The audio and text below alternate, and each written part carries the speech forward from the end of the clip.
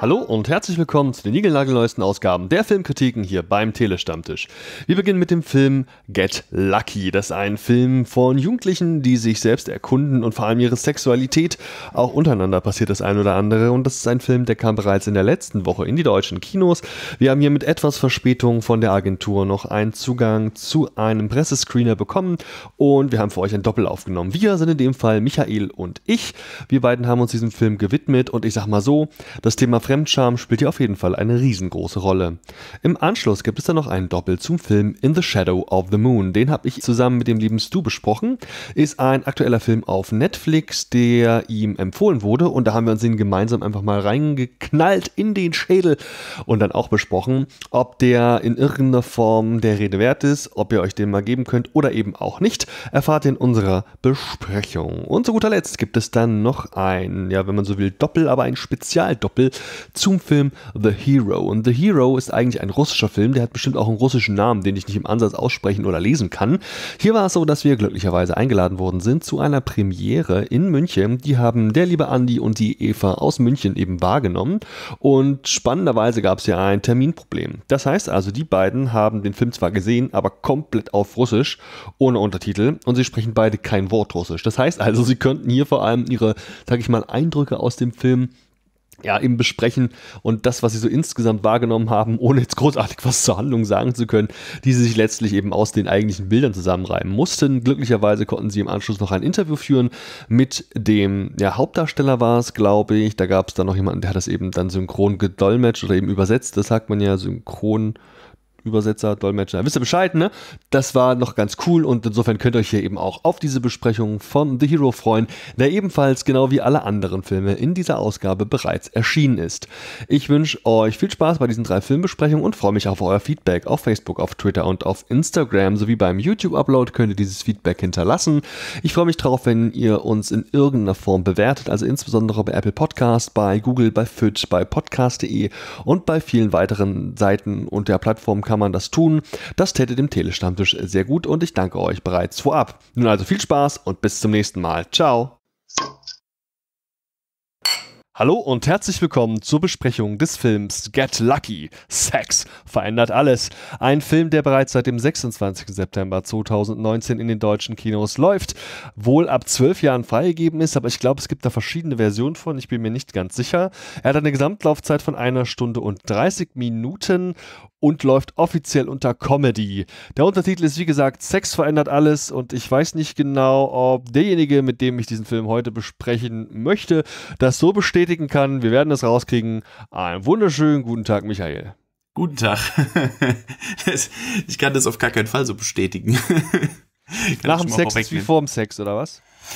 Ähm, nee, was ich, was ich vor allem nicht bestätigen kann, ist, dass der Film unter Comedy geführt wird. ja, ne, so richtig lustig war das im seltensten Fall. Nee, gar nicht, tatsächlich.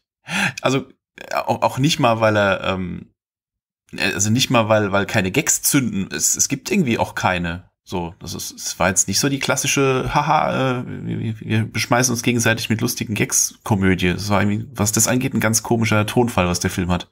Also wäre ich jetzt irgendwas zwischen 12 und, sagen wir mal, 16 Jahren alt, dann hätte ich mich garantiert weggebastelt, hätte ich den mit irgendwelchen Freunden zusammen gesehen. Aber warum das so ist und warum wir vielleicht auch einfach nicht die Zielgruppe sind und warum man das Ganze trotzdem nochmal mit ein bisschen Distanz vielleicht sehen muss, ich hoffe, dass wir das gleich klären können. Aber vielleicht tust du uns erstmal den Gefallen und fest diese doch sehr komplexe Geschichte mal kurz für uns zusammen. Aber selbstverständlich. Die äh, komplexe Story ist die folgende. Es ist eine Gruppe von äh, fünf, glaube ich, fünf Teenagern, die den Sommer auf einer Insel in der Ostsee verbringen, bei, äh, bei der Tante, glaube ich, von einem der fünf, äh, gespielt von äh, Palina Roginski, die äh, zu allem Elend auch noch äh, Sextherapeutin, glaube ich, ist, oder Sexberaterin, irgend sowas in der mhm. Richtung. Und äh, ja, diese fünf Teenager haben quasi nur den einen Gedanken, dass sie quasi äh, auf dieser Insel äh, ihre ihre aufkeimende Sexualität äh, weiter erforschen möchten auf die eine oder andere Weise. Ja, und das ist so, also Sex ist das große Thema des Films. Und das ist leider aber sicher auch exakt, also wirklich exakt das einzige Thema. Es gibt keine, wirklich, ich habe darauf geachtet, es gibt keine einzelne Szene im gesamten Film, also wirklich keine, nicht mal die, die so, egal, es gibt wirklich keine einzige Szene, die sich nicht in irgendeiner Form um eben Sex dreht. Also wirklich, und ja. sei es nur irgendwelche Witze, sei es, dass man darüber spricht, dass die viel zu junge Tochter ihren Vater beim Sex erwischt hat oder die Sextherapeutin, die schlaue Sachen sagen muss, weil sie halt natürlich eben Sextherapeutin ist. Also wirklich ausnahmslos. Jede Szene in diesem Film dreht sich um Sex und das ist schon auch ein bisschen penetrant, finde ich. Es, es ist super penetrant. Also man muss dazu sagen, also ich persönlich bin jetzt äh, 20 Jahre weg von der Zielgruppe oder beziehungsweise vom Alter dieser, dieser Teenies, die da abgebildet werden, aber ich meine mich zu erinnern, dass in meiner Jugend wir nicht so oft das Thema äh, Sex hatten. Also ich habe mit meinen, mit meinen Kumpels auch über andere Sachen gesprochen. Ja. Insofern, es ist also wirklich, wirklich penetrant. Dieses dauernde Gelaber über Geschlechtsteile, äh, über, über, über Sex, über wen, mit wem man es tun würde und mit wem nicht und warum nicht und Puh, also es ist echt, es ist ermüdend. Das ist wirklich ermüdendes Thema. Von manch einer, sagen wir mal, pubertären Aktionen wie sowas wie Weitwichsen oder sowas, was wir auch ja, nicht genau. gemacht haben. Finde ich aber, und das muss man dem Film zugute halten, er ist insgesamt jetzt nicht irgendwie, finde ich, krass niveaulos. Klar, er hat so ein bisschen im wahrsten Sinne des Wortes eine Menge Witze unter der Gürtellinie, aber im Endeffekt, finde ich, wird hier auch mit, sagen wir mal, eher so rhetorisch niederem Wortschatz eher nicht so gearbeitet. Klar, da fällt mal Schwanz und Eier und dann werden da auch mal ein paar Worte gesammelt und so. Aber letztlich finde ich, dass das insgesamt nicht niveaulos ist. Nee, das geht schon. Also gibt's, da gibt's ganz andere Filme, die, die da noch deutlich drunter sind. Aber man, man muss eben mit so Sachen wie äh, die Jungs gehen am Strand und machen hier äh, Gruppenwichsen und sowas. Damit muss man umgehen können in so einem Film. Mhm. Ähm, insofern, naja, ist, sagen wir mal, niveaulos ist ein weiter Begriff. ähm, ja, aber ich fand's halt auch, also es, es wird ja in, in den Pressetexten zu dem, zu dem Film wird ja ganz gern mal drüber gesprochen, dass es auch einen gewissen Aufklärungsauftrag erfüllt und so weiter und so fort. Das tut es teilweise. Also es gibt so ein paar Z,enen wo sie dann tatsächlich, wo der, äh, der unerfahrene Teenager vielleicht noch ein bisschen was lernen kann. Aber das ist teilweise sehr mit dem Holzhammer reingeprügelt. Also zum, zum Beispiel hier, ähm, hier die Tante, Tante Schieß mich tot, ich weiß nicht, wie sie heißt, gespielt von Palina Roginski, ja. die auch nicht geil spielt, leider. Also es ist eine vielleicht eine sympathische Frau als Moderatorin und alles, aber sie ist eben keine gute Schauspielerin, fand ich jedenfalls. Also sie wirkt sehr, sehr hölzern in dem Film. Ähm, und sie hat manchmal als in ihrer Funktion als ähm, Sexualberaterin auf einmal so, so Anfälle, wo sie auf einmal den Erklärbären gibt. So, also von jetzt auf gleich schaltet sie von, ich bin hier die coole, die coole junge Tante hin zu, jetzt erkläre ich euch mal hier, wie, wie die sexuelle Welt funktioniert. Und das, das wirkt immer unheimlich aufgesetzt und, und ja, wie gesagt, so ein bisschen mit dem Holzhammer reingeprügelt, so, so, Achtung, jetzt Bildungsauftrag. Sie hätten es auch einblenden können unten so. Ja, ähm, das kann ich nachvollziehen. Im gleichen Atemzug muss man vielleicht auch mal erwähnen, dass wenn man sich den Wikipedia-Artikel zum Film durchliest, da was steht von, dass der Film wohl auch geeignet wäre, um damit quasi Sexualunterricht zu machen oder ihn zumindest daran aufzuziehen. Ich denke, dass das weniger an der Handlung liegt oder an der Konkretisierung einzelner Vorgänge, als vielmehr an dem absurden Sammelsurium an Begriffen, die einfach genutzt werden. Es mhm. wird ja letztlich einfach alles mal irgendwie in irgendeinem Zusammenhang erwähnt und daran könnte man sich vielleicht abarbeiten. Aber ich bin mir nicht im Klaren, ob dieser, das ist ja schon kein Respekt mehr vom Thema Sex, ist ja gleichzeitig schon auch wie eine Angst, die hier die Protagonisten vor diesem Thema haben und eben auch kombiniert mit einer Unerfahrenheit, wie das vielleicht auch bei vielen jungen Leuten so ist, ob das so mega geeignet ist. Also ich kann gerade jetzt seine Punkte mit diesem Holzhammer schon auf jeden Fall voll nachvollziehen, muss aber sagen, es gibt da noch andere Punkte, die ich auch irgendwie zumindest merkwürdig fand. Also okay, in meiner Generation war es jetzt zumindest im Regelfall in dieser Art nicht üblich, Sexualpraktiken oder generell, also insbesondere jetzt zum Beispiel das Wichsen oder eben auch sowas wie ähm, die, die Regelblutung der Frau oder so, dass man das im Freundeskreis so offen thematisiert, ja. Also man hat da schon derbe Jokes gemacht und alle wussten Bescheid und zwar auch immer unter der Gürtellinie, aber gerade so zwischen Jungs und Mädels war das bei uns eben nicht so, dass wir bei so Flaschendrehen in dieser Form so, oder im Lagerfeuer ist es ja, glaube ich, viel eher, ähm, so offen und direkt auch waren. Da war bei uns eher noch eine deutliche ja, Scheu, eine, eine Scham einfach, eine Angst. Das fand ich jetzt zumindest irritierend, das in dem Film anders zu sehen. Ja, das stimmt. Also, ich hatte vorhin auch schon gemeint, es ist, also vielleicht ist es Generationending jetzt, vielleicht sind die Teenies mittlerweile so drauf, das mag alles sein. Aber es ist halt schon sehr auffällig, wie, wie, also wie dominierend dieses eine Thema immer ist, dass die sich über gar nichts anderes mehr unterhalten und so. Ähm, und ja, ich finde es auch teilweise, also du hast es gerade gemeint, man könnte den Film, also man, es wird behauptet, man könnte den Film als Sexualkunde und Unterrichtsmaterial benutzen. Ich hoffe wirklich das nicht. Ich hoffe, weil, also abgesehen von dem, von der ganzen Sexualthematik, ähm, vermittelt die teilweise auch ein paar ganz seltsame Werte. So, ähm, angefangen von es, es wird quasi immer gleich der erste äh, weggevögelt, den man so den man so kennenlernt, ja, so ganz ganz ohne dass man sich überhaupt kennenlernt, sondern direkt hier wird direkt weggeknattert, ne? Okay, es ist ein Film, man hat jetzt nicht ewig Zeit hier bei bei fünf Leuten hier das große Kennenlernspielchen zu zeigen, ja. Aber das war schon ein bisschen seltsam. Dann sowas wie, also ähm, ich habe leider die, die Namen von den Figuren alle nicht mehr im Kopf. Also ich habe sie mir auch im Film nicht gemerkt. Die werden ganz am Anfang kurz eingeführt. Völlig ähm, irrelevant. Alle und danach habe ich hatte ich nur noch ihre ihre Stereotypen im, im Kopf. So, mhm. es gibt so den den, den Hauptprotagonisten. Äh, ich, den habe ich irgendwann nur noch den Pornopenner genannt im Kopf, weil ähm, der sich halt irgendwie selbst für den geilsten Stecher aller Zeiten hält und und und äh, Mats man, heißt der Mats. Mats, ja, von mir aus. Weiß ich nenne ihn weiter, ich nenne ihn weiter den Pornopenner. der sich selbst auch Pornonamen gibt und so weiter und so fort und den man noch in der aller, allerersten Szene des Films gleich äh, sieht, wie er sich im, in der Zug oder im Flugzeug oder sonst wo äh, Toilette einen runterholt und es gibt gleich mal schön den Ton an für den Film, so mhm. gleich mal in der ersten Szene einen beim Wichsen sieht. Super. Und ähm, worauf wollte ich hinaus? Genau, er, er gibt seinem Kumpel, bei dem es in der Beziehung so ein bisschen kriselt, ähm, Beziehungstipps und kommt dann mit solchen, solchen fiesen Pickup-Artist-Techniken an, von wegen so, behandel sie wie eine Schlampe und du musst sie brechen und sowas. Wo ich denke so, wow, ernsthaft? ähm, interessante Auffassung. Das ist natürlich jetzt so seine als der große Macker. Ich weiß gar ja, nicht, ob das jetzt eine gezielte Aussage der Produzenten sein soll. Ja, das ist nicht die Aussage des Films, aber das ist halt in dem Fall erstmal seine Meinung und er ist halt der Hauptcharakter des Films und es ist jetzt auch kein großer Spoiler, dass sich er, der sich als den groß, als, als der große Stecher sieht, sich, dass es vielleicht damit nicht ganz, nicht so sehr mit der Wahrheit ist, wie man wie das vielleicht gerne hätte, ne? Also, mhm. wäre jetzt kein großer Spoiler, aber naja. Ähm, oder auch sein, sein Freund, dem er diese Tipps gibt, der in einer festen Beziehung ist als einziger in dieser Truppe, ähm, der, sobald seine Freundin auch nur einen Blick auf einen anderen jungen Mann wirft, sofort das große Eifersuchtsdrama auspackt und so richtig fett die Eifersuchtskeule rausholt und man fragt sich in dem Moment so, wow, echt jetzt? Was hat sie denn getan? Ja, komm mal wieder runter.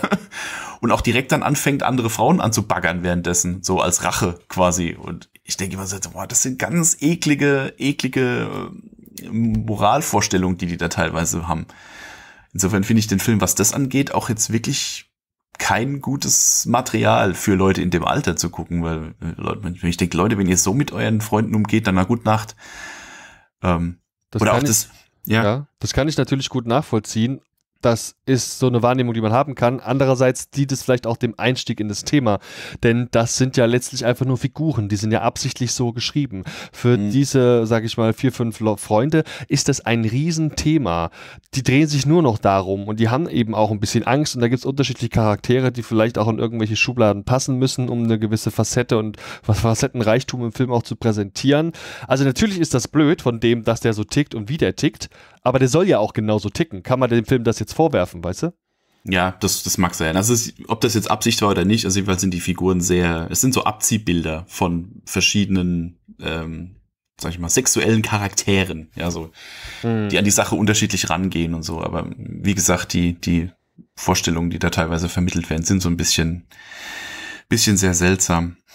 Ähm, ich würde noch sagen, noch, was zum Handwerk von dem Film noch, noch loswerden wollen. Ich fand den auch jetzt, was, was die ganze Machart angeht, nicht besonders geil.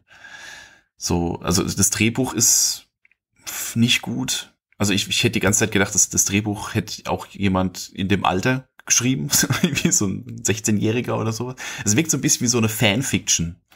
So wie sich jemand sein, sein großes romantisches Abenteuer auf einer Insel vorstellt oder so. So, so wirkt es so ein bisschen von, äh, von der Story her. Ähm, ja, die, die, die Schauspieler fand ich jetzt alle auch eher so mittel. Wie gesagt, Palina Roginski fand ich nicht gut. Das mag eine sympathische Frau sein, aber nicht als Schauspielerin. Das fand ich keine gute Performance abgeliefert. Und eine Sache, die mich noch ganz frag, äh, ganz ratlos zurückgelassen hat, war, ähm, dass der Hauptdarsteller, der, der Matz, äh, dass der ungefähr drei, vier, fünf Mal im Film auf einmal aus dem Off zum, zum Zuschauer spricht. Also ihm, sie haben ihm noch so einen Offsprechertext verpasst, ähm, wo man ja dann denken könnte, dass der quasi, dass der innere Monolog, den der führt, so ein bisschen dem entgegengeht, wie er sich nach außen gibt. Aber das tut er nicht. Der spricht, der, der, der äh, spricht in seinem Kopf genau den gleichen, ich bin der geilste Stecher-Kram, wie das, was er nach außen so erzählt.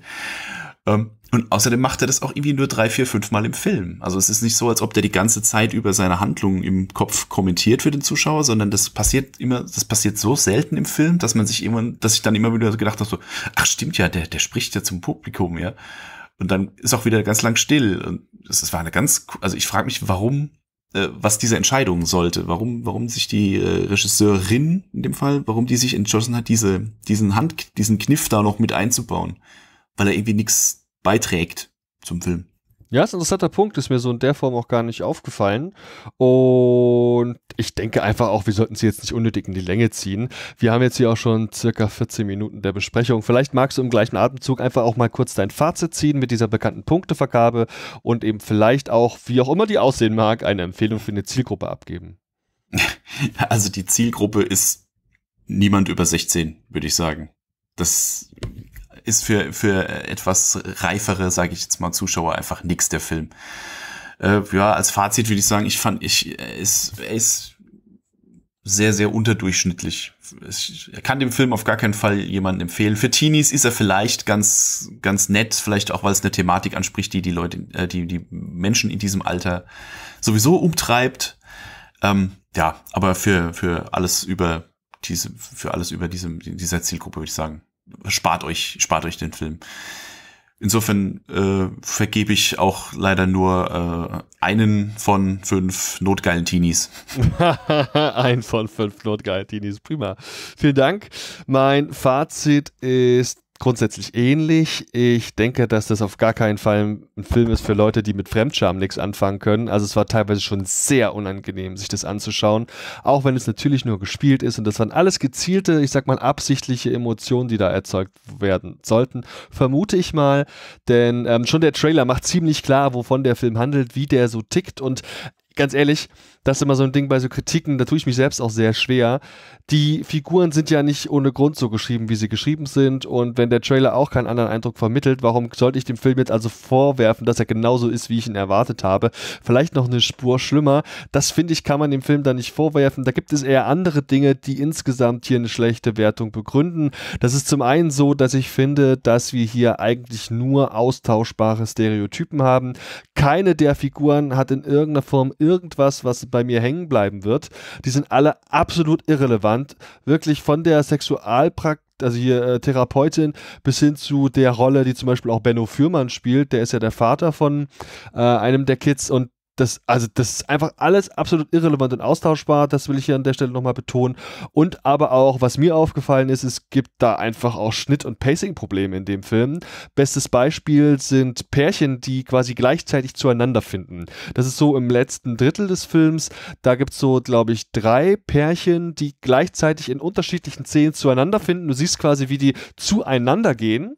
Und währenddessen wir von zwei Pärchen die Kennenlernszene, des, also wenn man so will, den Akt oder zumindest den vermeintlichen Akt und auch das eventuell wieder auseinandergehen sehen, haben wir noch das dritte Pärchen, das sich zum gleichen Zeitpunkt wie alle anderen auch erstmalig quasi richtig näher kommt und die Auflösung, was mit denen passiert, wird dann quasi, quasi noch so hinten dran geklatscht. Das wirkt absolut unrund mag sein, dass man so vielleicht einen insgesamt noch positiven Abschluss finden wollte, um so, wenn man so will, dem einzigen glücklichen Pärchen in diesem Film da so ein, um das als quasi finalen Punkt zu nutzen. Aber insgesamt wirkt das total unrund und finde ich einfach auch echt nicht gut.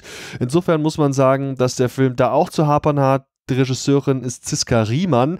Die kennen wir unter anderem vom Film Electric Girl, den wir hier auch zuletzt besprochen haben. Ansonsten hat die noch nicht so wahnsinnig viel gemacht. Es gab wohl noch irgendwie einen Fernsehfilm und eine Dokumentation und irgendwie noch Screenplay, keine Ahnung. Das ist ja, glaube ich, nur Drehbuch. Also so insgesamt Ach nee, nicht mal, da war sie nur am Drehbuch beteiligt. Also insgesamt hat die gute Frau noch nicht so viel gemacht, noch Lollipop Monster, kein Plan. Das ist also offensichtlich noch so ein bisschen was, wo sie noch arbeiten und ja, sage ich mal, üben muss, so um es mal sie direkt zu formulieren. Wie gesagt, Schauspieler, wenn das Drehbuch nichts hergibt, was willst du da als Schauspieler, auch als talentierter Jungschauspieler großartig draus machen? Die sind alle jung, die sind alle hip, die sind alle urban, die sind total geil aufeinander und genau das ist es auch, was die Figuren uns letztlich sagen sollen. Insofern komme ich bei, naja, sagen wir mal doch irgendwie zwei von fünf Punkten raus, weil ich wertschätzen möchte, dass die Figuren und dieses Thema Sex und dieser Fremdscham und dieses Unangenehme, das ich verspürt habe beim Schauen, weil ich glaube, dass das in einem gewissen Sinne Absicht gewesen ist. Aber insgesamt ähm, kommen wir da auf gar keinen Fall an mehr Punkte ran. Das jetzt zu meinem ausgedehnten Fazit und ganz, ganz, ganz, ganz, ganz zum Schluss will ich natürlich dir nochmal die Gelegenheit geben, dich mal kurz zu präsentieren. Denn mir ist immer auch wichtig, dass die Kollegen hier aus der Redaktion des Telestammtisch mal noch so erzählen können, was sie nebenbei eigentlich noch die ganze Zeit machen. Wir beiden Hübschen haben uns ja kennengelernt in Stuttgart, glaube ich, im vorletzten Jahr. Dieses Jahr haben wir uns so kurz von Weitem zugewunken. Wie sieht es denn eigentlich so aus? Was gibt es denn Aktuelles bei dir, sowohl im Podcast, wie ich ja weiß, und eben auch auf Comicseite? Also auf Podcast, den gibt's äh, seit letztem, äh, also seit November letzten Jahres habe ich meinen eigenen Filmpodcast, heißt Sach bloß. Den gibt's äh, auf ja wo, überall, also Spotify, iTunes, äh, auf YouTube habe ich eine Version, wo ich an das Ganze noch so ein bisschen bebildere und äh, ja, da spreche ich mit äh, wechselnden Interviewpartnern oder auch mal alleine über Filmthemen aller Art, über bestimmte Franchises, über Sachen, die gerade im Kino laufen, so wie hier im Telestammtisch auch. Äh, ja, das gibt's seit letztem Jahr, weil ich auch äh, froh und dankbar über jedes neue Abo und jeden neuen Zuhörer, der dazu kommt. Ähm, und auf Comic-Seite, ja, es, es, es schläft ein bisschen momentan. Das ist aber der Tatsache geschuldet, dass ich halt auch ein, ein kleines, kleines Söhnchen habe, der so ein bisschen sehr viel Zeit in Anspruch nimmt und da am Ende des Tages einfach groggy ist. Ähm, aber ja, ich habe einen Webcomic, den gibt's auch schon seit 2011. Äh, nennt sich Sachen gibt's. Ähm, gibt's auf äh, www.sachen-gibts.net wo ich ähm, ja so, so, so kleine Slice of Life äh, Cartoons mache, also quasi so was was mir so passiert, was mir so durch den Kopf geht, äh, plus ein bisschen Quatsch. Ja, das kommt in, in, in schöner Unregelmäßigkeit. Wie gesagt, momentan schläft's ein bisschen, aber ich gebe mir Mühe, das wieder ein bisschen aufleben zu lassen und äh, so. Das sind so meine zwei Großprojekte. Ansonsten bin ich äh, Zeichner und Illustrator, äh, gerne auch buchbar. Wer, wer da Bedarf hat, darf sich gerne bei mir melden. Und äh, ähm, ja, so ein paar Sachen, die ich schon gemacht habe, gibt's bei www.michael-roos.net zu bestaunen. So, das waren so die drei Eckdaten. Ja, cool. Macht das mal unbedingt. Schaut da mal rein. Es gibt auch eine ganze Menge Sachen von dir zu erwerben. Also insbesondere die Comics gibt es ja auch in teilweise gedruckter Form.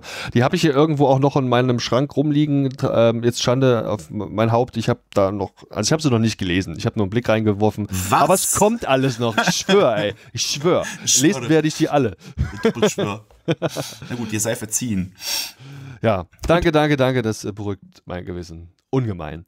Michael, vielen, vielen Dank für deine Zeit und ich ja, freue mich schon auf unsere nächste Besprechung. Ja, jederzeit gerne. Bis dann, ciao. Bis dann, ciao. Hallo und herzlich willkommen zur Besprechung des Netflix-Films In the Shadow of the Moon.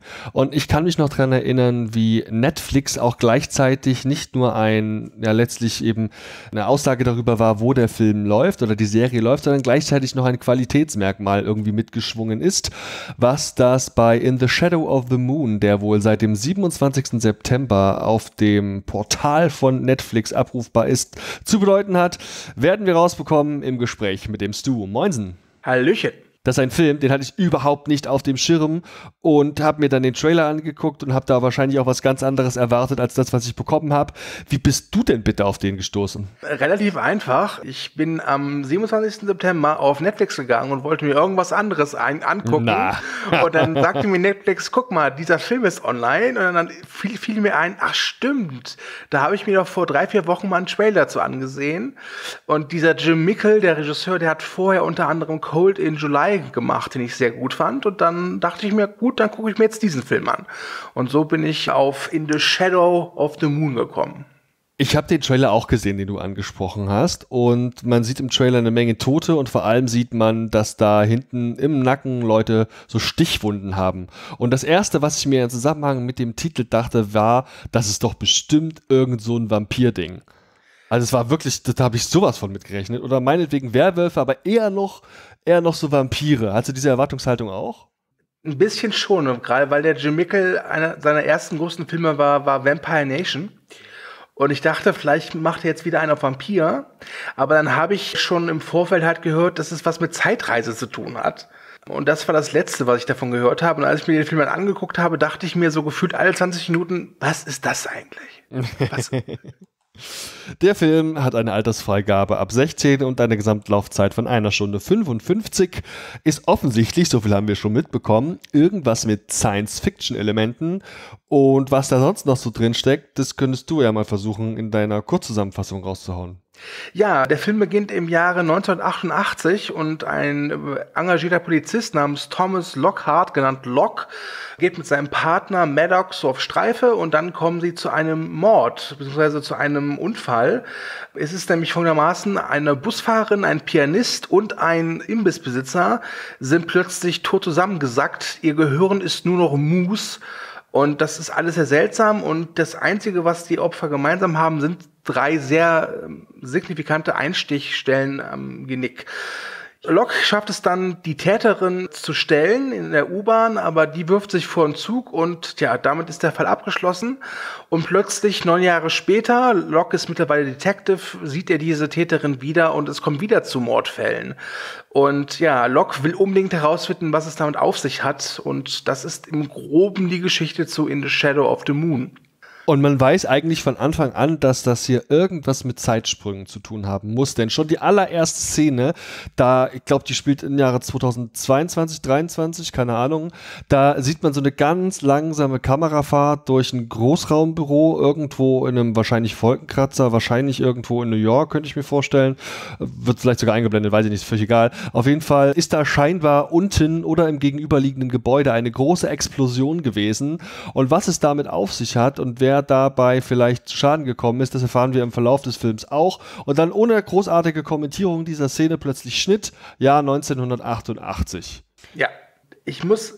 Kennst du den Film Dark Angel mit Dolph Lundgren? Nein, den kenne ich nicht. Ich hatte so leichte Vibes von dem Film. Zur Erklärung, in Dark Angel geht es darum, dass ein außerirdischer Dealer umbringt, um mit ihren Heroin Leute zu töten, weil Leute auf, auf Heroin erzeugen ja Dopamin und das zapft er ab, um es dann weiter zu verkaufen in seiner Galaxie. Und es war ein total kruder Film, weil er einfach mal so Cop-Thriller und Science-Fiction gemixt hat. Und diesen Vibe hatte ich jetzt auch bei In the Shadow of the Moon, denn der Regisseur und die Drehbuchautoren, den schien es echt scheißegal zu sein, was sie da machen. Die haben sich einfach gedacht, so, ach, machen wir mal einfach. Du meinst jetzt in Gesamtbetrachtung des Films, das kann ich im Ge Genau, genau. Ja, ich finde es auch voll schwierig, mir zu dem Film eine große Meinung zu bilden. Muss ich schon auch sagen. Ich mag ja generell alles, was so Richtung Science Fiction geht. Wer da schon mal so im Ansatz einen Film mit beginnt, der hat bei mir schon auf jeden Fall einen Stein im Brett. Und so ein bisschen Zeitreise noch und vielleicht noch ein bisschen Action und da kann eigentlich schon nicht mehr viel schief gehen. Ich sehe vielleicht eher noch so ein bisschen Parallelen zu, ja, ich weiß nicht, Minority Report in einem gewissen Rahmen, weil man da ja auch versucht hat, ja Gerade wenn man am Ende die Erklärung noch sieht, aber wirklich nur im Ansatz vielleicht. Ja, aber der Film, der, weiß ich nicht, also so, so richtig so, so voll überzeugt war ich nicht. Es gab schon coole Action-Szenen. Es gab auch mal ein paar ganz nette Einstellungen und es gibt auch generell ein paar ganz tolle Ideen in dem Film ja, keine Ahnung, wir sehen zum Beispiel in so, letzt würde ich sagen, im letzten Drittel des Films, wobei, ja doch ungefähr, sehen wir eine Szene, wie man in einem, was ist das, kein Truck, so ein, ja, so ein Transporter halt, wie, wie der quasi einfach einen Berg runterrollt. Unsere zwei Protagonisten sind da gerade mit Kämpfen beschäftigt und um die rum fliegen tote Schweine. Also ich fand das irgendwie, das war was hatte ich so in der Form auch noch nicht gesehen. Das fand ich ganz cool.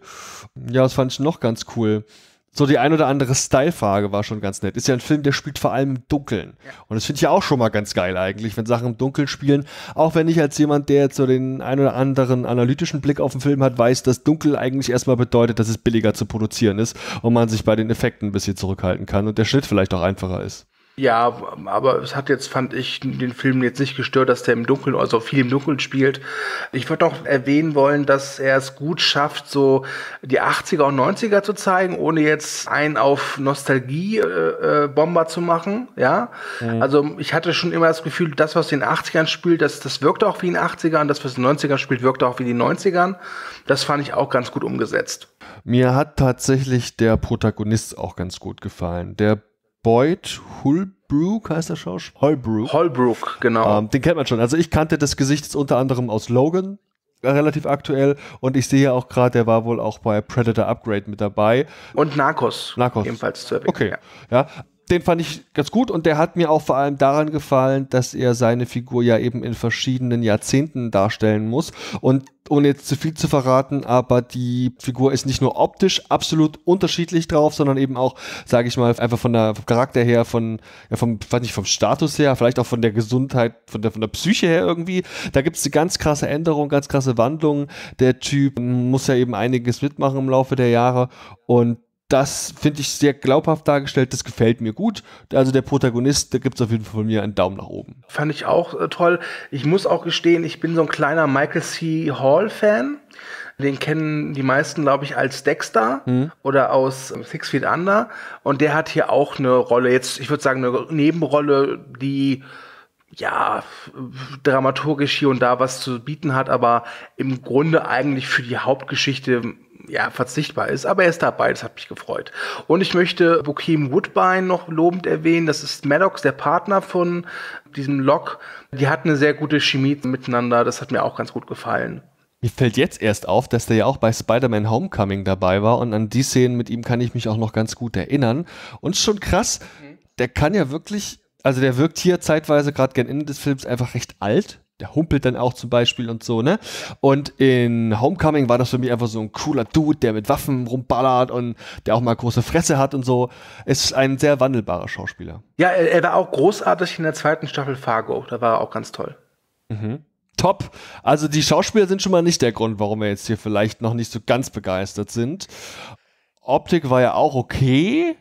Die Handlung, würde ich sagen, ist vielleicht das, wo man noch die ein oder andere Frage stellen kann. Ja, die Handlung das ist so ein Film, der kümmert sich nicht darum, ob die Handlung irgendwie jetzt wirklich cool ist, sage ich mal, oder ob das irgendwie, dass man denkt, oh, das ist aber clever. Der mixt halt einfach die Genres und ist sich, wie gesagt, vollkommen, vollkommen im Klaren dabei, dass das äh, alles nicht unbedingt zusammenpasst, ja. Besonders bezeichnend dafür ist der Showdown. Ich werde jetzt nicht spoilern, wie es ausgeht, aber der Showdown ist halt, der ist so klein und so unspektakulär, dass ich mich echt gewundert habe. Mhm. Und ich muss gestehen, irgendwie fand ich das cool. ja, wobei gerade im Showdown spätestens ja klar wird, und das, wie gesagt, haben wir ja eigentlich an der Stelle schon gesagt, also es gibt für mich auch eine, eine gewisse Verständnisproblematik, vielleicht kannst du es mir ja erläutern. Es geht jetzt scheinbar in irgendeiner Form um Zeitreisen. Irgendwer reist hier aus irgendwelchen Gründen in der Zeit hin und her ich habe noch nicht so ganz verstanden, also wie das funktioniert und warum.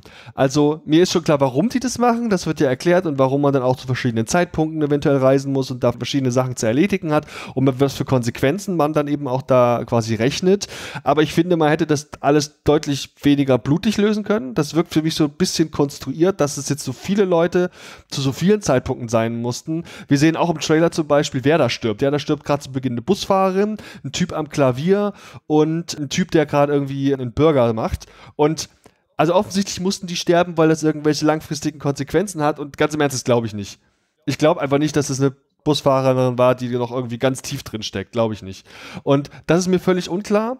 Und mir ist generell diese ganze Zeitreisefrage nicht genug geklärt. Okay, die reisen in der Zeit, aber wie das jetzt funktioniert und so, das ist mir nicht geklärt. Es ist an anderer Stelle erklärt, dass man wohl scheinbar durch die Zeit in irgendeiner Form mh, mm, also die Morde passieren ja auf eine besondere Art und Weise und das ist offensichtlich auch ein bisschen durch die Zeit gesteuert.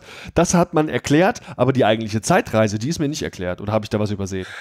Ja, es gab diesen einen Wissenschaftler, der dann irgendwie erzählte, dass alle neun Jahre der Mond in der und der Konstellation zu dem und den Stern steht und deswegen ist es möglich, irgendwas zu machen mit Wurmloch oder irgendwie sowas. Das war halt so dieses typische äh, Wissenschaftsblabla, was solche Filme halt immer haben, so diese typische Exposition, die mir dann meistens immer egal ist, weil ich sie eh nicht verstehe.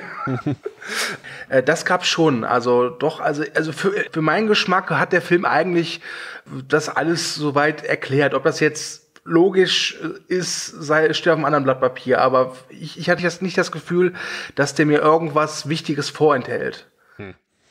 Dann habe ich es wahrscheinlich einfach nicht verstanden. Ach nein, nein. Das kann ja auch sein. Vielleicht bin ich auch einfach nur zu doof und gebe mich mit, mit, allem zufrieden, so nach dem Motto, dies ist eine Brezel, die ermöglicht Zeitreisen. Okay, glaube ich dir. Ja, wahrscheinlich. Also bei, bei, war das nicht bei Deadpool 2 auch so? Dass es irgend so ein Gerät gab, mit dem man in der Zeit reisen konnte und man konnte es nur einmal benutzen und warum und wie es funktioniert, ist völlig egal, es funktioniert halt. Und dann am Ende hat er es natürlich rechtzeitig für den, genau den richtigen Moment benutzt und lässt es halt reparieren, damit er es nochmal benutzen kann. Also manchmal muss man Sachen einfach, glaube ich, schlucken und ich will da vielleicht, glaube ich, auch jetzt gar nicht zu viel vorwegnehmen, denn so ein paar Sachen kann man in dem Film ja doch noch irgendwie selbst entdecken wollen. Ja. Mega gut. Haben wir denn noch Punkte, die wir besprechen sollten? Ich möchte noch sagen, dass eine der Nebendarstellerinnen hat den Namen Cleopatra Coleman. Das ist mal ein toller Name. Das würde ich noch loswerden. War sie Schauspielerin oder ist es eine Rolle? Sie hatte eine Rolle. Sie, sie war die ah, ja. Attentäterin. Ah ja, da sehe ich es gerade, genau. Ja. Die Raya oder Ria. Ria oder so ähnlich, ja. Mm, alles klar. Haken dran. Sehr schön. Ja ist ein Film, der mir per se jetzt nicht, den fand ich jetzt nicht kacke oder so. Ich finde, er ist bei Netflix definitiv richtig aufgehoben. Ja, ja. Das wäre jetzt nichts, was ich mir hätte unbedingt im Kino angucken müssen. Da gab es andere Filme, die es irgendwie dann nur direct to DVD beziehungsweise direkt zu Netflix geschafft haben.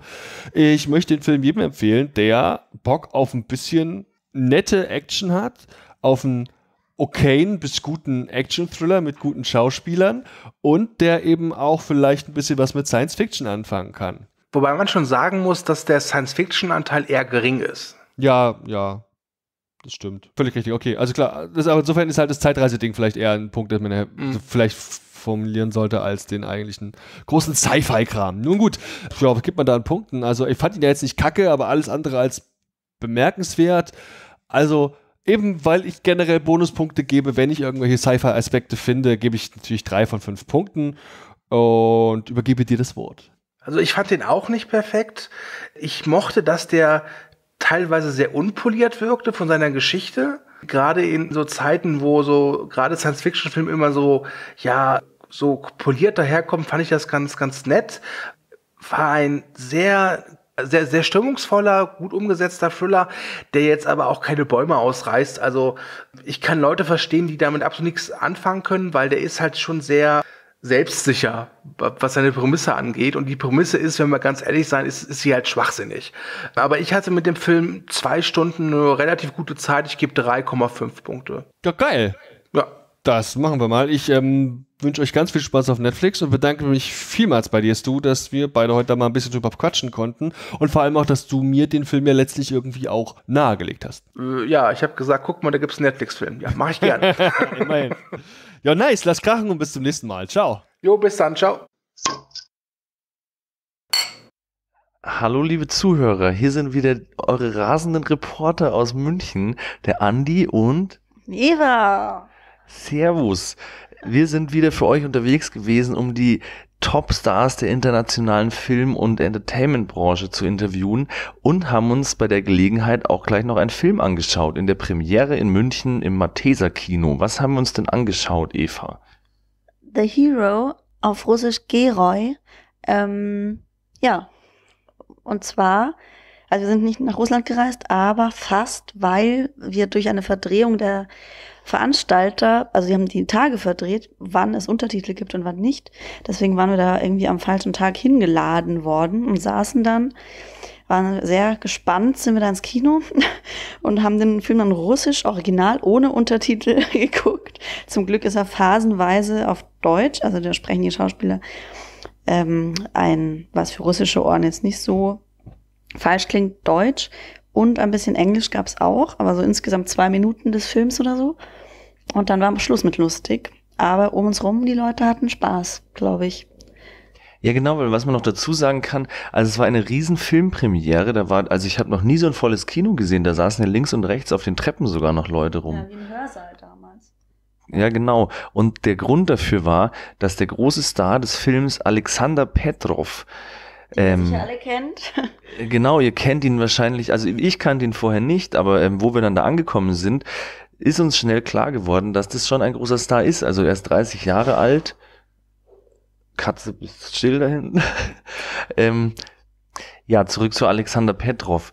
Also, ähm, er wurde 2017 auch zum populärsten russischen Schauspieler gewählt und es standen gefühlt 50 kreischende, fotografierende ähm, Russen, russisch sprechende Münchner irgendwie in diesem Filmsaal Foyer und haben dann Selfies mit dem gemacht und so, wie wild. Also das war krass.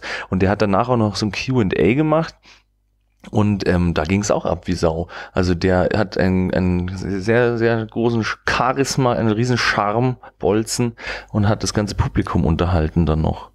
Ja, stimmt. Am Schluss gab es dann noch ein Interview. Das ist noch, naja, da haben wir winzige Ausschnitte angefügt, weil es, glaube ich, von der Tonqualität jetzt nicht so gut gewesen wäre und halt auch auf Russisch war.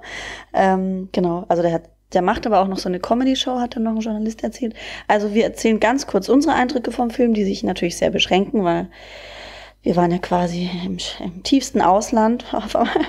Und ähm, genau, dann kommt ein Interview mit einem mit einem Journalisten am Russischen, der extra in München war zur Premiere und der hat netterweise dann was erzählt, auch so allgemein über die das Filmgenre so in, in Russland oder das Filmwesen.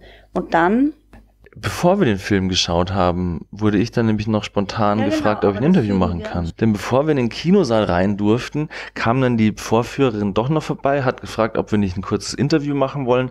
Das Tolle war nur, dass ich dachte, Q&A nach dem Film darf man höchstens eine Frage stellen wahrscheinlich. Deswegen war ich auch äh, ein bisschen überrascht und unvorbereitet. Und ich hoffe, das merkt man nicht. Aber die große Ehre, den großen Star Alexander Petrov dann noch vor dem Film zu interviewen. Und das hört ihr jetzt. Viel Spaß!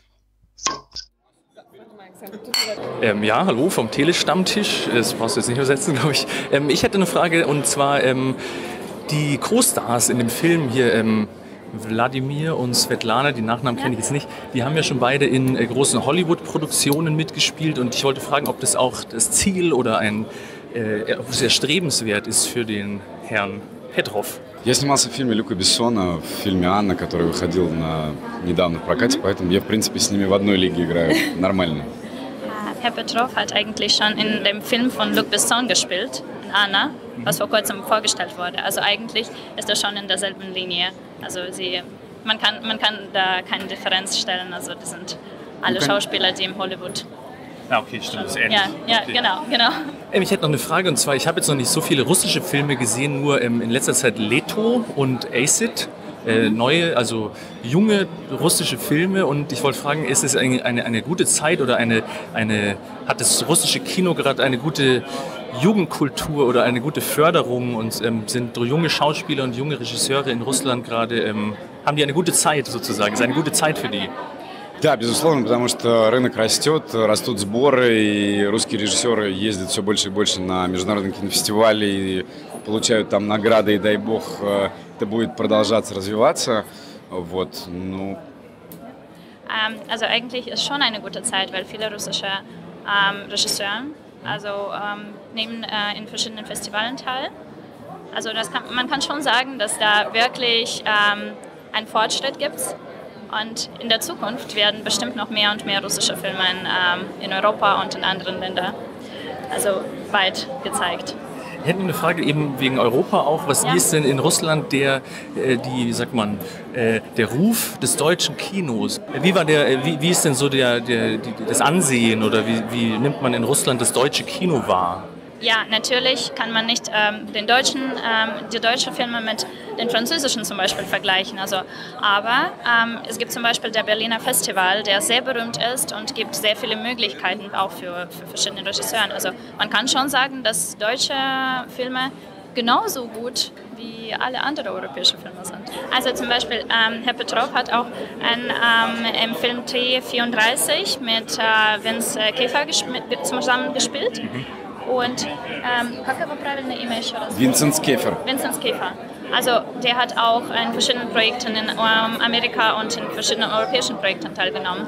Und die ähm, Russen kennen auch schon ähm, deutsche Schauspieler. Zum Beispiel Til Schweiger ist auch sehr berühmt, das ist auch ein großer Name. Also man kann schon sagen, dass in Russland ähm, deutsche Schauspieler ja, schon einigermaßen bekannt sind. Ja. Vielleicht eine Abschlussfrage, weil ich jetzt eben so zwei ja. ähm, russische Filme letztens erst gesehen habe, die ziemlich cool waren und jetzt ja. der nächste. Und ähm, weil ich jetzt ein bisschen tiefer einsteigen wollte, vielleicht noch ein paar Tipps, was man sich, wenn man das russische Kino, Kino kennenlernen will, äh, welche Filme und welche Regisseure man da ganz besonders mal anschauen sollte. Понятно, что те, которые сейчас участвуют в европейских э, кинофестивалях, таких как Звягинцев, Серебренников, Кантимир Балагов, Клим Шипенко, Alexei Sidorov. Also den Namen haben Sie schon gehört. Einen äh, habe ich auch gekannt. Ja, ja Kirill Serebrennikov hat der ja, Leto. Сегодняшний день или советское кино? Ah, heutzutage oder sowjetische Kinos? Ich dachte jetzt eher heutzutage, heutzutage. also was für Neues. Neues. Серебренников, Звягинцев, Канны, Берлин, ja? Klinische also, diese Regisseure haben schon äh, viele Preise in Cannes und äh, in Berlin gewonnen und mhm. natürlich, die kennt man schon auch wegen europäischen Festivals und auch wegen dem Berlin Festival zum Beispiel. Also es gibt zum Beispiel ähm, Gluchowski, der auch Metro 2030 geschrieben hat und ähm, auch Text, also die Bücher geschrieben hat, die eigentlich weltweit bekannt sind. Äh, zum Beispiel Filmtext, also dieses Buch, was ich gerade, ich habe Ihnen gerade erzählt, ich bin ein Schriftsteller, mhm. der dieses Buch geschrieben hat. Ähm, also Filmtext ähm, war in derselben Linie mit dem Film Bilder, der ähm, tatsächlich nach ähm, в каком фестивале он принял участие Film Bilder? Cannes. Cannes. Ja, der war in, in Cannes mhm. und da, hat, und da hat Text, Textfilm, also dieser Wettkampf verloren, aber man kann ähm, mit diesem Film nach Berlin zu dem Berliner Festival gehen, weil seiner Meinung nach passt dieser Film sehr gut zu dem Konzept von dem Berliner Festival und kann da wirklich ähm, ähm, gute Möglichkeiten haben. Vor allem, dass der nicht so politisch angestellt ist. Also nicht so politisch geprägt ist. Okay. Ja, ja check ich mal aus.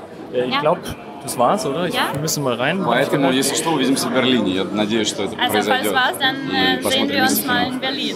Sehr gerne. Ja, dann wünsche ich schon mal äh, einen großen Erfolg mit dem neuen Film und weiterhin. Ich hoffe, Sie haben alle Antworten auf Ihre Fragen. Bekommen. Ich habe nicht alles verstanden, weil sie so laut ist, aber ich werde es mir Ach, anhören zu Hause. Ja. Okay. Vielen Dank. Sehr gerne. Dankeschön. Dankeschön. Ja, so, und zwei Stunden später kamen wir dann also ein bisschen überrascht aus dem Film raus weil wir nicht so viel verstanden haben. Und dann noch eine halbe Stunde QA haben uns gegeben auf Russisch, was aber sehr unterhaltsam war, anscheinend. Viel gelacht und viel geklatscht wurde. Aber Eva, wie fandest du jetzt eigentlich den eigentlichen Film?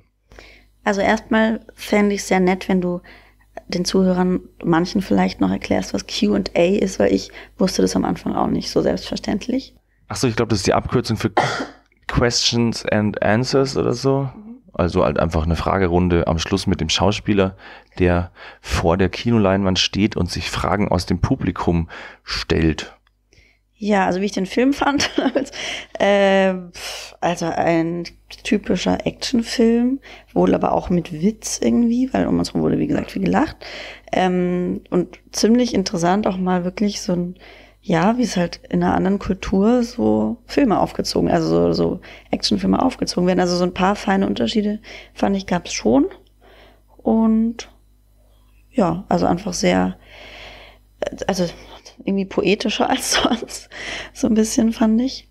Und ich fand es bisschen theatermäßig, also so Action, aber so nehme ich Actionfilme meistens wahr, dass es halt so ein bisschen wie so ein Werbesketch ist oder für irgendwelche Zigaretten oder so. Das fand ich hier auch sehr plakativ. Die Handlung, ja, also es war halt eine, es gab Verfolgungsjagden und es gab irgendwie eine Vater- und Sohn-Geschichte, eine Liebesgeschichte. Dann ist die Frau plötzlich schwanger und dann, wie sie dann zueinander finden oder auch nicht und wer stirbt, will ich jetzt nicht verraten. Aber so, es ist nichts krass Überraschendes. Aber es gibt innerhalb des Films gibt es einen einen, wie sagt man, einen Dreher, also da Twist. ein Twist, ein, ein Überraschend. Genau. So viel haben wir auch auf Russisch mitbekommen. Ja, ich glaube mehrere sogar, weil ich habe mir auch zuerst gedacht, wenn das jetzt ein richtiger klassischer Actionfilm ist, also weil Die Hard zum Beispiel würde ich auf Russisch auch verstehen, aber hier hatte man halt eben, wie gesagt, Twists und dann taucht der Vater auf, man weiß nicht, ob er irgendwie nicht doch ein Doppelagent ist und lauter so Ding. Also es war halt schon so eine so Richtung Mission Impossible eher, also so mit mit Agenten, Thriller und äh, Twists und eben Doppelagenten und hier und da. Und das hat uns dann ein Kollege, ein russischer äh, Filmjournalist auch später nochmal ähm, ein bisschen erklärt. Und der meinte auch, dass es durchaus auf ähm, Russisch als Russe auch halt ein bisschen Haken geschlagen hat, die Handlung. Aber ja, und zum Film selber noch, was mir aufgefallen ist und dir ja auch, der war halt sehr laut und sehr krachig. Die Musik war auch sehr präsent. Also mehr als sonst hatte ich das Gefühl. Oder vielleicht haben wir auch nur mehr auf die Musik geachtet, weil wir sonst nicht verstanden haben. Aber genau. Ja, also da gibt's dann auch eine, weil irgendwie am Anfang spielst glaube ich, in Deutschland, in Köln auf jeden Fall mal, und da gibt's auch so eine Schießerei auf einem Markt. Und die wurde dann auch noch mit Dubstep unterlegt, wo man echt zwischen den Gewehrgeballere und der Musik teilweise nicht unterscheiden konnte. Und die Kamera ist immer so schräg gehalten und es war alles sehr modern. Und es sah auf jeden Fall, kann man auch noch sagen, jetzt in keinster Weise billig aus oder so, das war schon hochwertig alles, also hätte auch eine Hollywood-Produktion sein können. Und ja, ja, war halt echt so dieser Spaß, dieser Spaß am Schießen. Und ja, yeah, endlich sind wir, haben wir es hingearbeitet zu der Szene, wo man schießen darf und es Baller bum bum bum gibt und so. Das finde ich ja, mei, egal. Also das finde ich in diesem Genre immer so ein bisschen belustigend.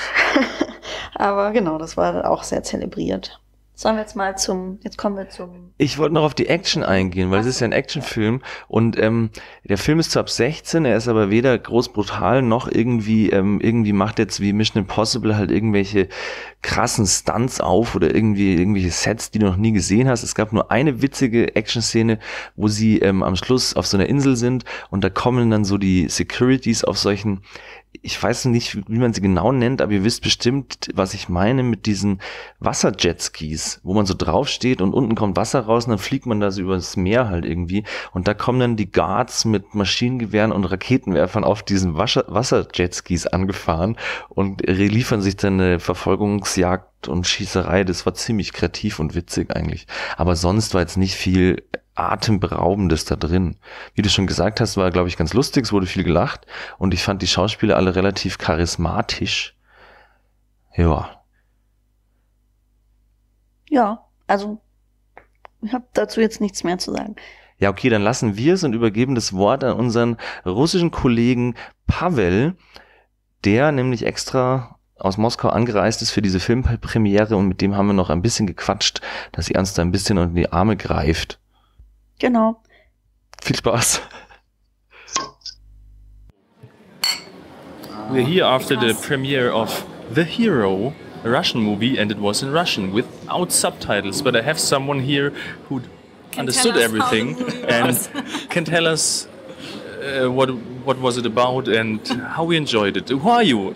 Well, that that is really a complicated movie, even uh, when you understand everything what they say, because there are really lots of twists and uh, lots of heroes that you can't understand. Are they good or bad? They are still now they're better, they're maybe good, yeah. and all this stuff. Uh, well, as for me, I think it's like kind of action movies from 90s, and if I were 13, I would be really absolutely happy with uh, all what's happening uh, here.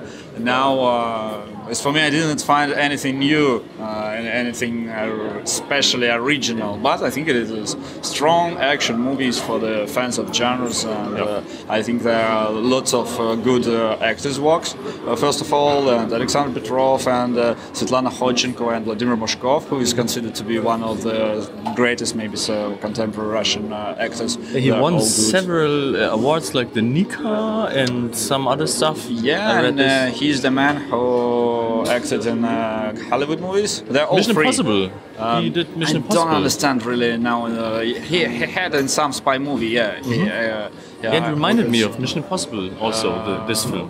Yes, yes. With all those yes. twists Yeah, so they are all with like mixtures of yeah. all such types of films uh, of the, that genre. And uh, Svetlana Khochenko, she also acted in some uh, comic movie. X-Men. yes Uh, you, know it better. I know them all. yeah. And, uh, so uh, the, the, it is interesting to see the actors who are now uh, who now became the uh, face of Russian acting school uh, because uh, we didn't we we've got lots of actors, but uh, they're all for our national uh, market, and it's always. Um, such a point so we are always proud of our actors who goes abroad and we always uh, uh, take our fingers for them uh, but we are also very uh, how to say it um, uh, we, are, uh, we would like them to be more even stronger to show the better when they are here wh- wh- wh- what they show in uh, I, I'm not perfect in my English I'm sorry No problem. uh, so, but we want uh, them to show in uh, these roles uh, the, uh, the the best what they can, and uh, usually they play not not uh, typical roles, stereotypical foreign- roles. in yeah, foreign yeah, movies, yeah, yeah. yeah, like They Russian tend to- villains yeah, yeah, and it's all like- this stuff. It's with the Germans the same problem. Maybe, maybe. they always just play Bond villains or something like that. yeah, and and this movie it is also full of stereotypes, and Yeah. uh, they also play the same uh, the, the same roles as, as usual: good guy, bad guy, and all the stuff. Uh, I wish the foreigners will see good uh, uh, movies with uh, where actors can fulfill all their possibilities and can show all that uh, they really can because we have really strong actor school in Russia and we have so really strong actors nowadays and unfortunately not so many people know them. Yeah, we just saw uh, two Russian movies for the Telestammtisch and uh, for our podcast and reviewed them. I, I think I told you before. Acid and Yes, Leather, Acid yes. and Leather, yes. Yeah. We talked about it before. Yeah. Yeah. Really great uh, young movies with great uh, young actors and directors, maybe also. Yeah. Thank you But, for your um, opinion. He does this similar roles like this, the actor. Uh, Alexander yes. Petrov. uh, It's uh, always he didn't- very similar, or is it very? Yeah, he he's a young uh, actor who now uh, on the top. So he usually play in uh, big commercials movies, and they're also always uh, also yeah they're. Uh, he uh, he doesn't have lots of uh, original uh, movies made by or big authors. So I think this is a point, and Alexander maybe will tell you the same, and maybe he had said that uh, it is the way he wants to uh, improve his his acting game, and he wants. Uh, I talked to him uh, a few a few times, and he told me that uh, he wants uh, to try himself with a big uh, Russian uh, director, such kind of uh, like Alexander Sakurov, for example, or so, some, something like that, like a big guys from the old old, school Russian directors who. People of great thoughts, of uh, lots of philosophical uh, uh, uh, philosophy inside their movies. So, and it- this is an easy, easy genre and Yeah. uh, easy game, yeah, for for, for him. I, I hope we will see him in uh, uh, more complicated. Uh, So you don't want to get stuck in this Yeah, one-dimensional action yeah, figure yeah. role. Li- li- like many actors, and you know, it's an interesting moment that he has uh, his own show, theatrical show in uh, Russia, and uh, he uh, he reads the, his own poems. He's a writer. He writes poems, and he read them, and it's a really uh, this is a strong performance. He he is uh, alone uh, the, for two hours uh, on the stage, and he reading his poems. He talking. He talking to the That's uh, what we could audience. see now. It's, he's very good at talking. Yeah, It's- yeah, yeah, it's- yeah, and, uh, he's not shy at all, and Yeah. he's really I also speaking a lot. thought- thought about it, yeah, he- because he- there's some actors that mm, very quiet or you- Yeah, and as for me, it was for, for me was uh, even more interesting to look after him uh, after the movie when during the movie. Yeah. I, it was my um, was I, um, I thought he is a little bit playing himself in the movie because he was the cool guy and it was he was acting the same here in front of the screen that he was in the in the movie. It was but very also a little bit shy, always with his hands in his pockets Yeah, and so on. cool but boy. Uh, yeah, see, this is his image. He is a, Yeah, he's a- such a cool guy. Yeah, you know. he's too cool to take his hands out of the. And it's every, he's everywhere. He has this image in uh, all Remember his movies. I thought about he's like the Russian Aaron Paul. You know Aaron Paul, the guy from Breaking Bad and so on. Yeah.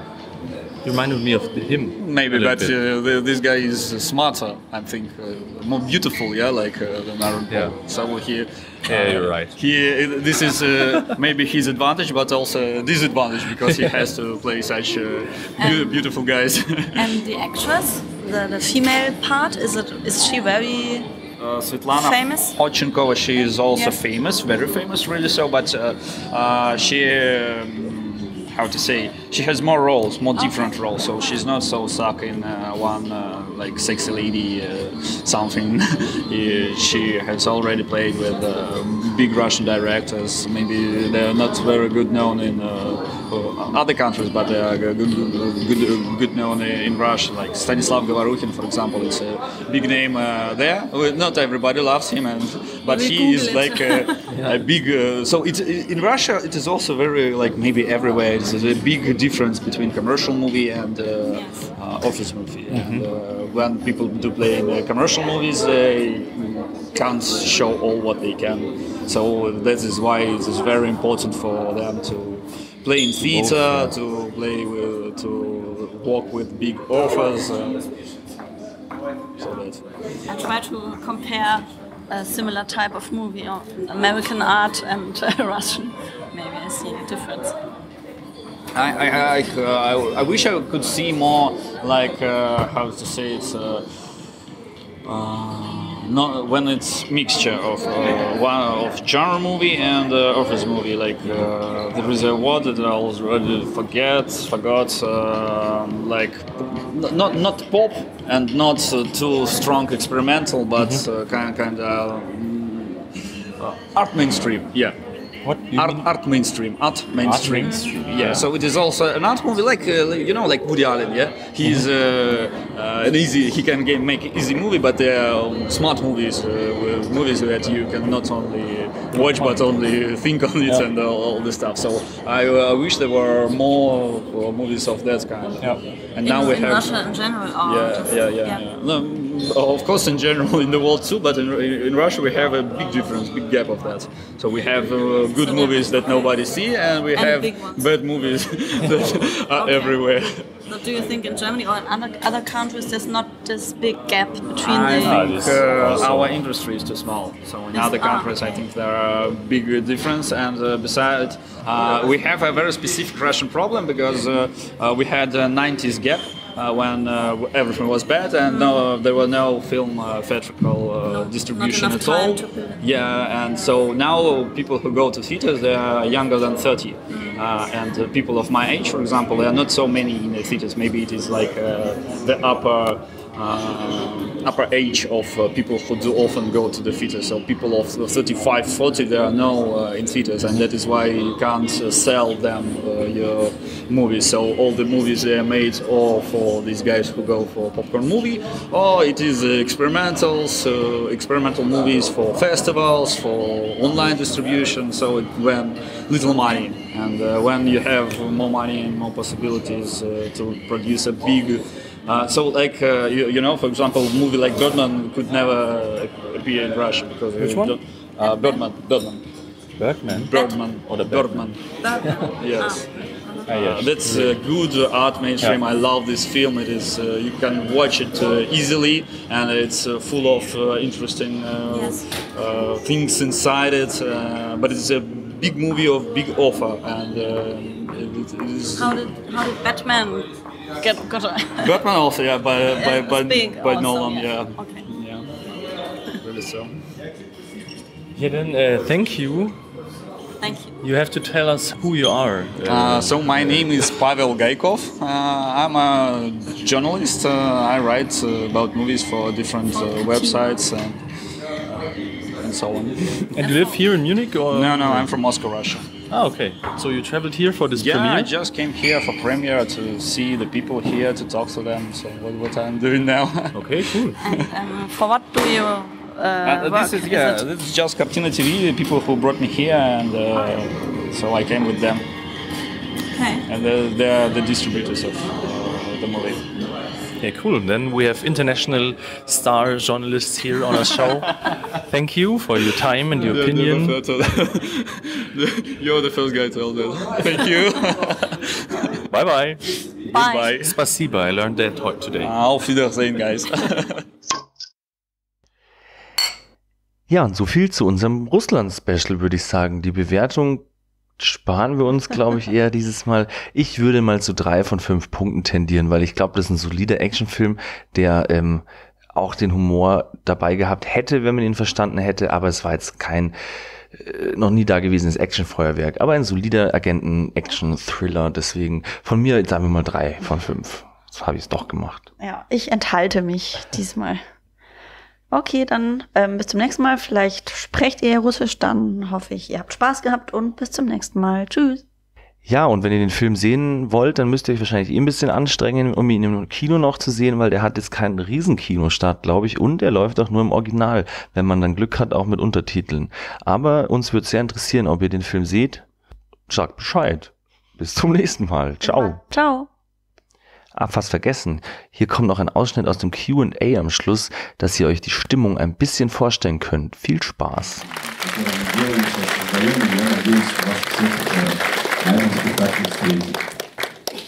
Александр, можно еще вопрос небольшой? Да, Благодарим за блестящий фильм. спасибо. Э, Может быть, не очень приятный будет вопрос, а вот какая... Да, до свидания. Не, не, останьтесь, пожалуйста. Ладно. Какой был вот э, момент, сцена в фильме самая сложная, вот которую мега... Ну, такой неприятный вопрос, что даже слушать А. лучше. Слушайте, ну, неприятных сцен всегда очень много, когда смена длится 14 час, там каждый кадр становится неприятным.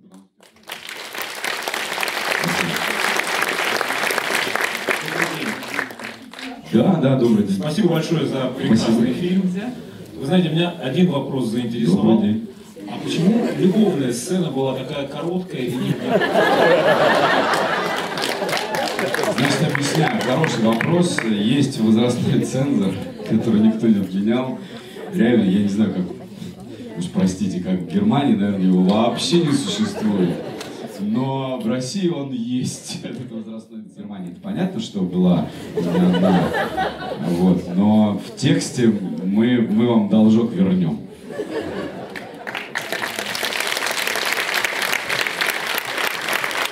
Спасибо огромное, что пришли. Я просто низкий вам поклон. С вами низкий Спасибо огромное.